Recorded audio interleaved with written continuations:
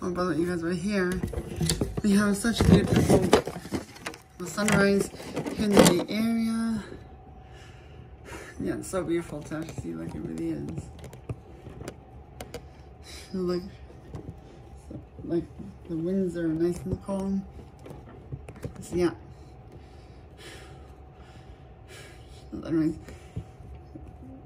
the one's next. There's only one way touching your fight now, so just, just, we never know.